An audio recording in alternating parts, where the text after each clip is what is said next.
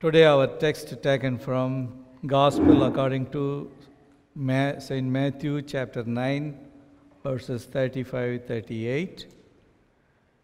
Then he said to his disciples, The harvest is plentiful, but the workers are few. Ask the Lord of the harvest, therefore, to send out workers into his harvest field. Our sermon title Are You Ready for Harvest? Dear family and friends, Mount Olive. Today, God called us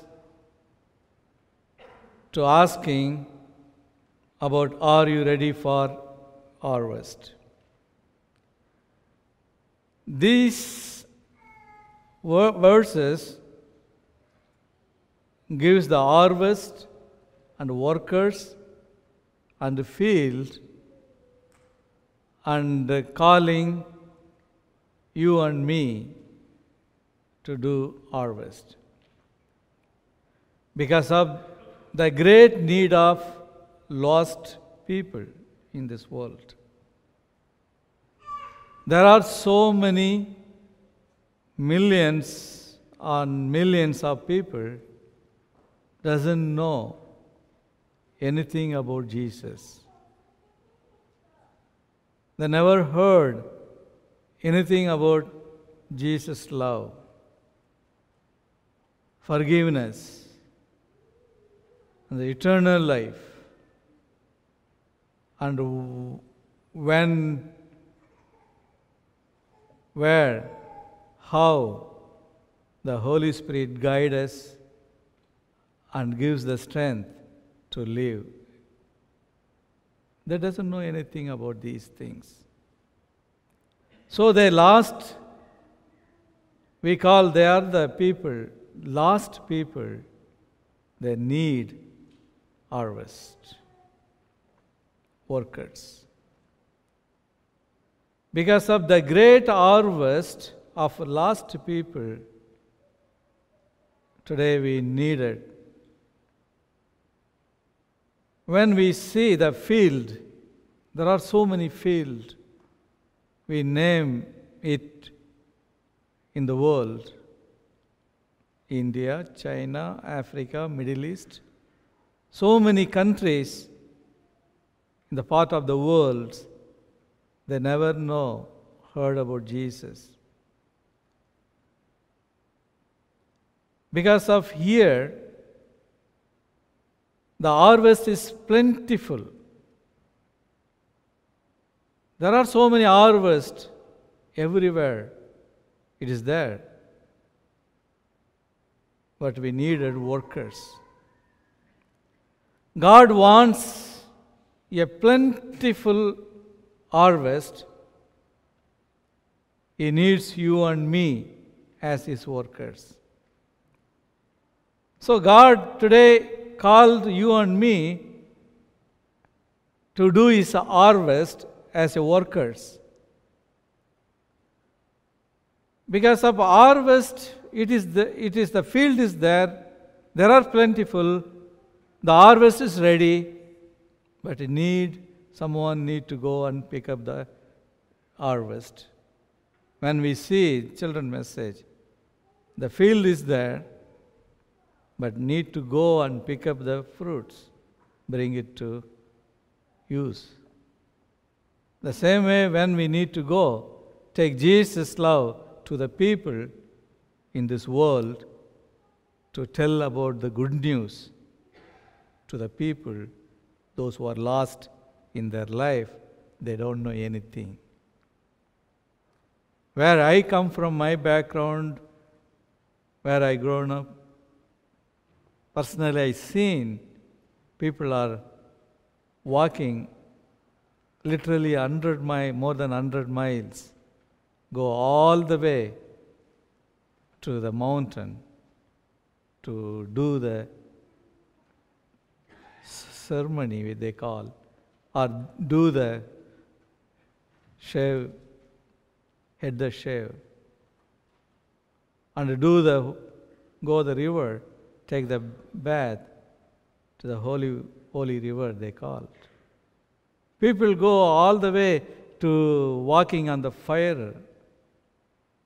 Just if you see YouTube, how the people seeking uh, God's forgiveness through the activities. I've seen. So when when these these these kind of people we can see, we can tell we, they are the people, they are unreached peoples, unreached peoples. There are so many in this world unreached.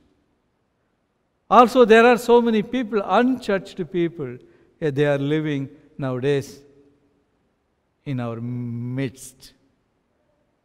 Eh, when we see the here, harvest plentiful, the, we needed workers, that's you and me, but the harvest starts. Are you ready for the harvest to start in our backyard? That's why when we see here, are you ready for our backyard harvest?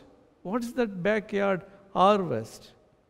We talked about the lost people, unreached people everywhere in this world. That is started Jerusalem, Judea, Samaria until the end of the earth. But here, God called you and me.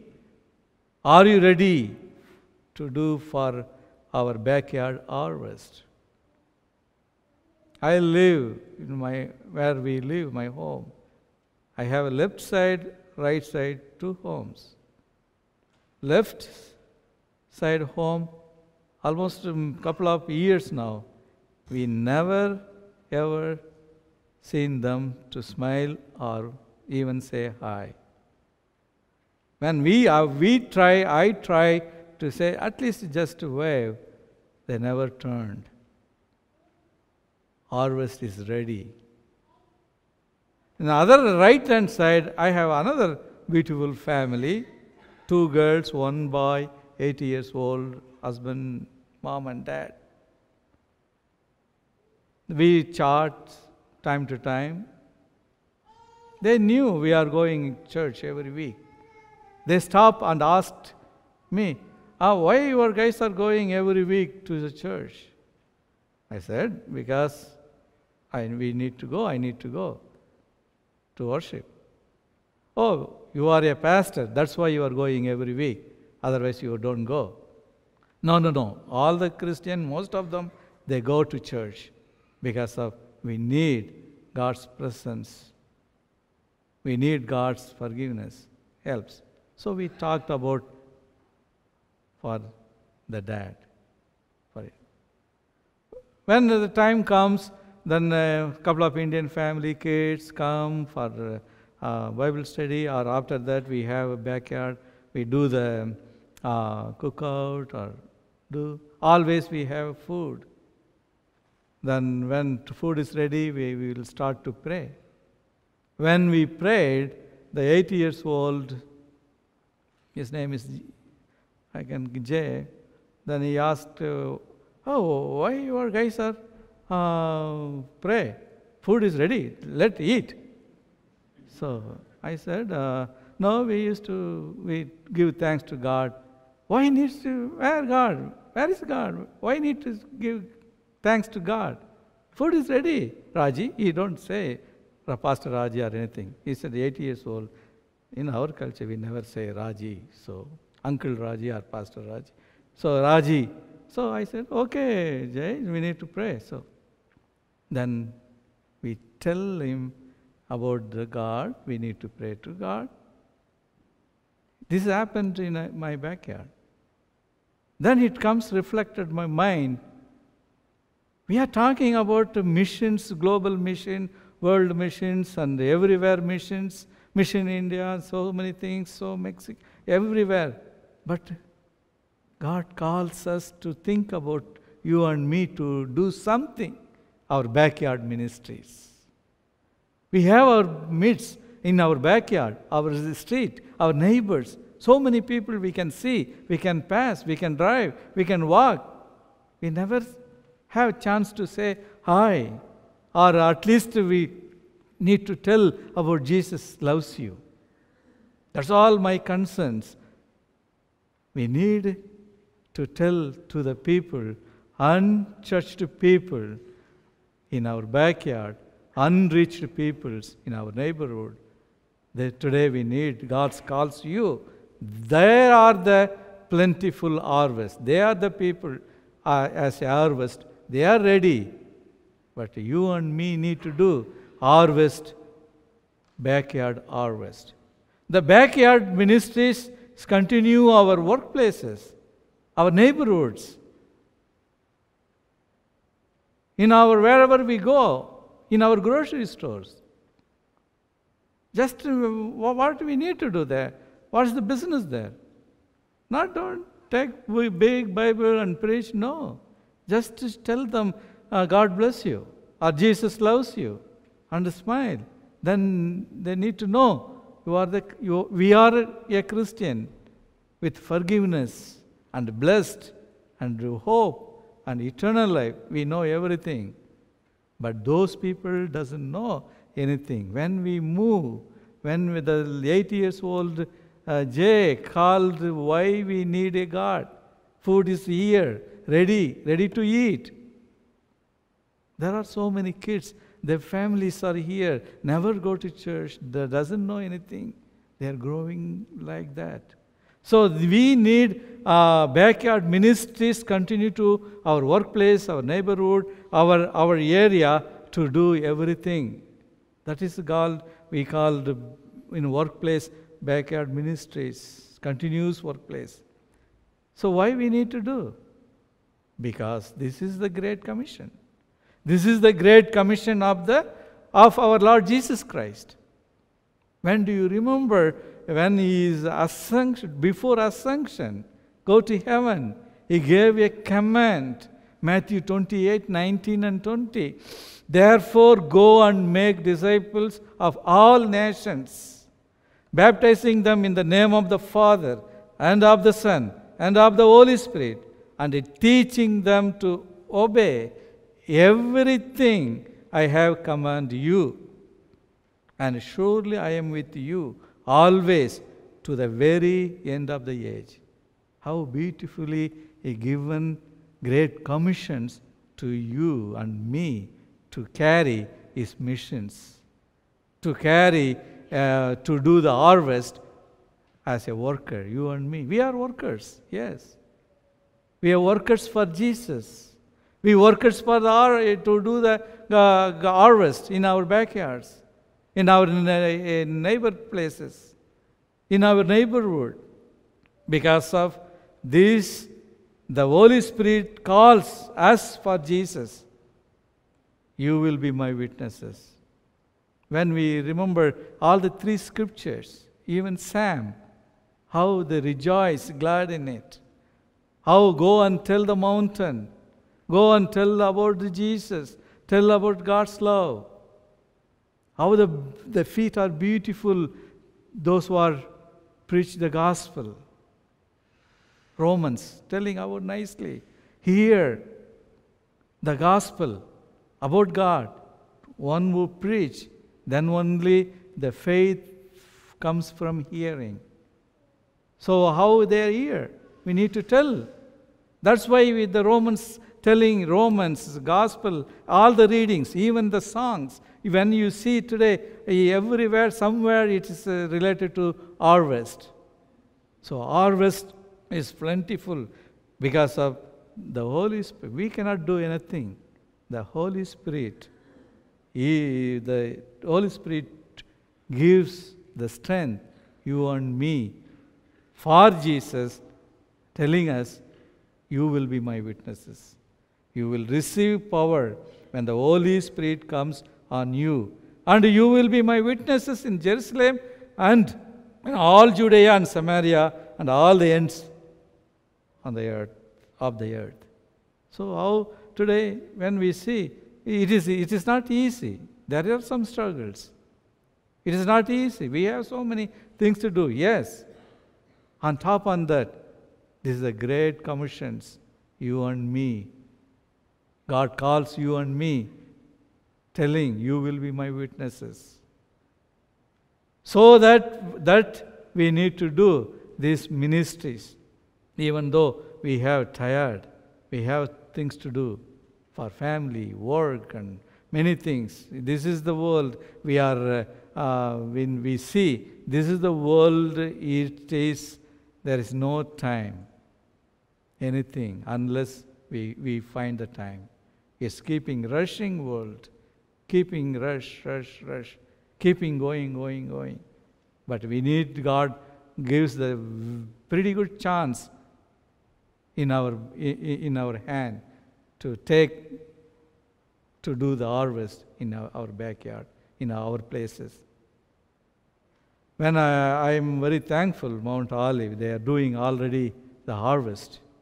They are sending the people and doing the many things. Many your mission uh, support going around in around if Indiana and the states and veterans and military and cults and so many things you are already started because of that's the way. It's not only preaching, but you do Mount Olive. I appreciate many of you do things. Even five, maybe four, five years back, Pastor Jeff, when we talked, he asked me, uh, Pastor Raja, I couldn't understand. Can you tell me one more time? I don't, I'm not catching with you. Then I tell, okay, this is, a, I mean it. Uh, really, still I am not understanding. Can you tell me one more time? Then again I am telling, this is the way I, I am telling some words.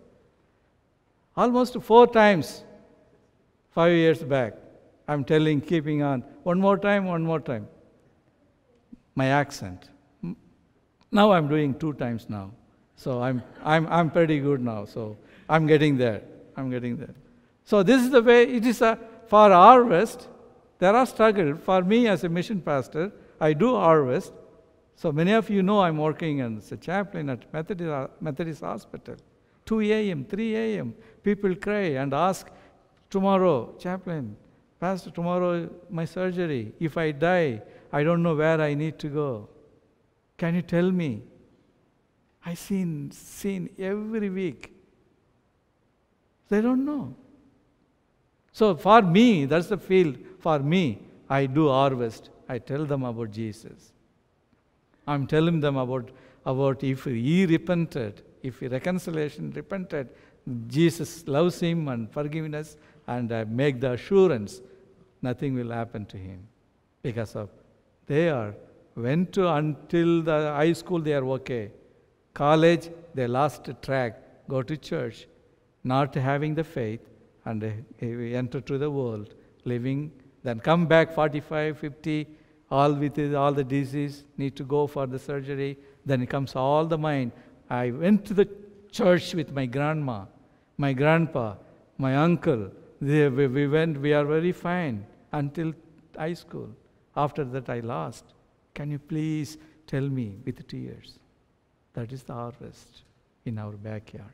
Same thing when you see the people and talk with people, something if they sense, then you talk about Jesus, tell the all we, we are having, having uh, we are received the blessings through Holy Communion. He died for us on the cross.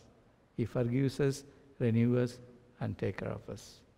So, though the, so this is the way this calls for you and me. Harvest is ready. So I have a conclude with uh, one question. If you want to say, say me yes. Are you ready for the harvest? Yes? All of you. Are you ready for the harvest? Yes. Very good. Blessings. Amen.